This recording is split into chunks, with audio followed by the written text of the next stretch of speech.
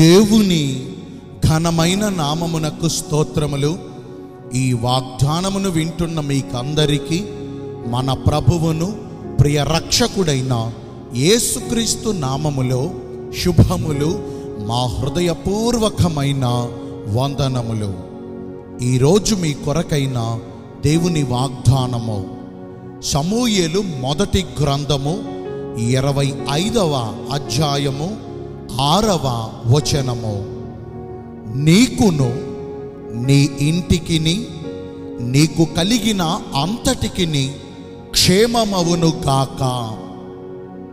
మంచి దేవుడైన యేసయ్య ఈ మంచి వాగ్దానమును నేడు మనందరి జీవితములలో నెరవేర్చునుగాక మేన్ ఈ వాగ్దానాన్ని మనము పరిశీలన చేస్తే పరిశుద్ధ పట్టణమైన ఎరూషలేము చుట్టూ పర్వతములు ఉన్నట్లుగా సైన్యములకు అధిపతి అయిన యహోవా దేవుడు ఇది మొదలుకొని నిత్యము తన ప్రజల చుట్టూ ఉంటారు.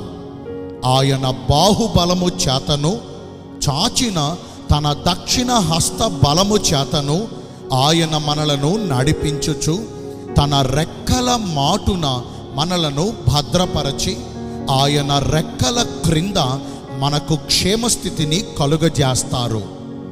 ఆయన చేతి నీడలో మనముండగా మనకు విరోధముగా రూపించబడిన ఏ విధమైన ఆయుధమును వర్ధిల్లనియ్యరు మహోన్నతుడగు యహోవాయే మనకు ఆశ్రయమును దుర్గమునై ఉన్నారు. ఆయనే మనకు క్షేమాధారము. ఆపత్కాలములోను కష్ట సమయములోనూ దిక్కుతోచని దీనస్థితిలో మనమున్నప్పుడు ఆయనే మనము నమ్ముకొనదగిన సహాయకుడు.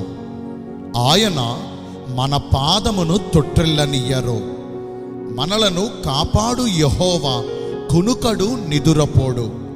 మన కుడి ప్రక్కను యహోవా మనకు నీడగా ఉండి పగలు ఎండ దెబ్బ అయినను రాత్రి వెన్నెల దెబ్బ అయినను మనకు తగులనీయక ఏ అపాయమును మన దరి చేరనీయక యహోవా మన ప్రాణమును కాపాడతారు. ప్రతి విధములైన దుష్టుని ఆలోచనలను భంగపరచి కంటికి రెప్పల కాచి మనలను భద్రపరుస్తారు.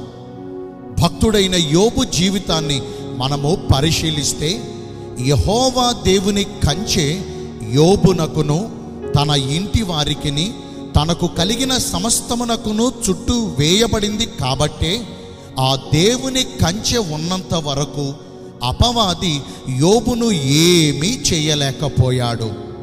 ఇస్రాయేలునకు కాపరి అయిన యహోవా దేవుడు నేడు మనకు కూడా అట్టి కంచెను వేసి మనకు క్షేమస్థితిని దయచేయునట్లుగా మొదటిగా ఎల్లప్పుడూ మెళకువగా ఉండి ప్రార్థన చేయాలి. మన ప్రార్థనే మనకు రక్షణ కవచము.